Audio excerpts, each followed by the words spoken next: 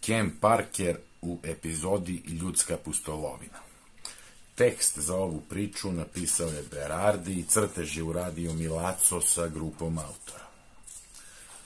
Još jedna odlična priča iz serijala o Kenu Parkeru. Ovu avanturu Ken zapravo zapisuje kao svoju buduću priču koju bi eventualno prodao izdavačima u velikim gradovima istočne obale Sjedinjenih država, gde vlada veliko interesovanje za priče sa granice i iz još uvek slabije istraženih i manje naseljenih predela. Zanimljivo da će Ken na osnovu ove pisanije izbeći da plati kiriju svojim stanodavcima, obzirom da je stari bračni par zainteresovan za priče ovakvog tipa a Ken će im naravno rado ustupiti na čitanje svoj tekst, iako ne sasvim dovršen tog momenta. Priča u priči počinje zanimljivim dijalozima Kena i njegovog prijatelja Oahpeha prilikom kupanja u jednom jezeru. A zanimljivo je da su pre toga boravili u improvizovanoj sauni, za čija isparenja Eskim tvrdi da odnose zle duhove iz kože, a potom će ih voda odneti daleko. Na tih par stranica Berardi je napisao zanimljivih stvari koliko drugih scenarista ne bi uspeo ni za stotinu strana. Ken je nesvesno priredio neslanu šalu Eskimu potapajući ga u vodu, ne znavši da ovaj ne zna da pliva. I kada ga nedugo zatim pita da li je dobro Ovak mu odgovara, da, dobro sam, ali i ti si bolje. Kad se čovek igra kao dete, zle misli odlaze daleko. A onda je usledila još jedna genijalna razmena reči. Ken je pomenuo ogledalo, a Okpeh je naravno rekao da ne zna šta je to.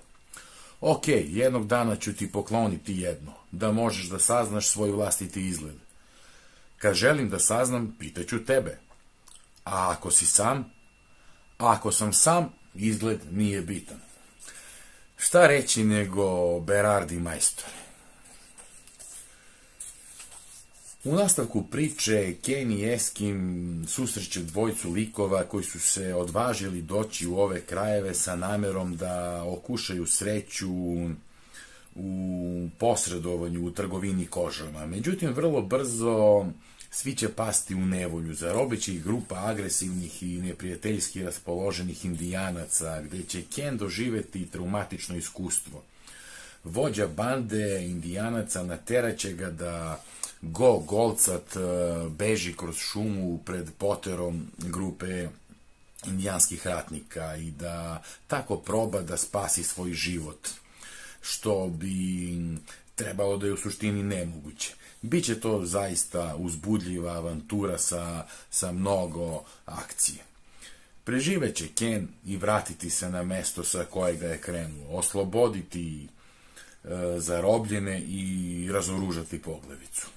Zli indijanac je zatražio ravnopravni dvoboj, ali odgovor Kena Parkera bili su hici iz puške ravno u grudi poglevica.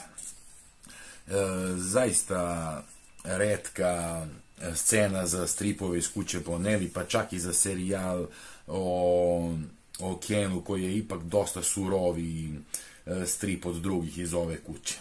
Svakako jedna nezaboravna scena koju možemo ovde da vidimo za jednu, za kraj zaista jedne odlične, odlične priče.